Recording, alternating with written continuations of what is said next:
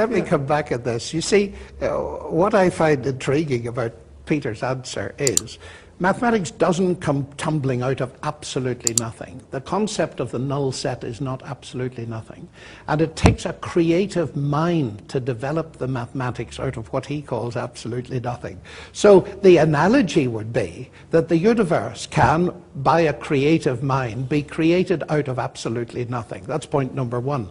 Point number two is the universe reflects mathematical structures, but I think we want to realize that mathematics doesn't cause anything.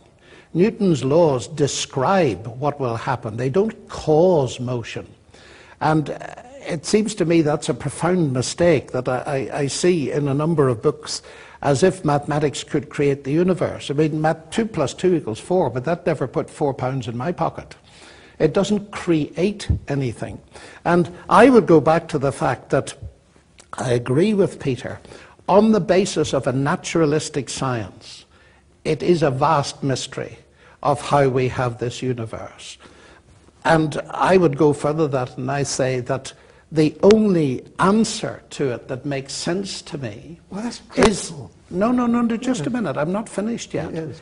We can explore the mechanisms as much as we like, but our explorations and the very way we do them is, as a totality, pointing towards a mind behind them. And that didn't hinder science in the 17th century, and it needn't hinder science now.